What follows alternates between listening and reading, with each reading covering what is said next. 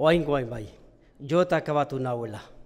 Zartako batzuk saiestu ditut, beste batzuk altzairuzko maiu lege sufritzen ditut. Min guztiak kentzen dituen aspirina bat anuntziatzen dute telebistan. Hilargiaren neurrikoa enkargatu beharko nuke. Totolututa nago, jada, kolpekin. Aginak ezaizkizu berreun urtetan eroriko, orointzen dut on, eh, anuntzioa. Akunde sortzetako pasta erabiltzen baduzu. Ez dakit zer egin dezakedan bisirik ateratzeko hemendik. Lagunei buruz zer esan. Beltza agertu denetik bakarrik utzi naute.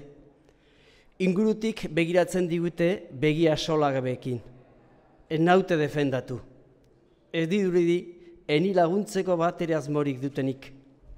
Jasaten ditudan kolpeik beha izilik eta aldizka begirada alboratzen dute. Adizkide batek putakume deitu nau urrundik, hango aulki ilunetik. Beltzari esan diola pentsatu dut, putakumea. Errepikatu duen ian konturatu naz neuri esaten zidala. Konspirazio utza dela susmatzen azinaz. Dena ondo antolatu da dauela emoten du. Poliziari deitu? Ez daude urrun. Hortze bertan ikusten ditut polizia uniformeak jendartean, arrokeria zurrun horrekin. Ez dut uste hori egu baketzeko edo askatzeko daudenik. Paper konfusio bat dago ni bizi izan naizen herrietan behintzat.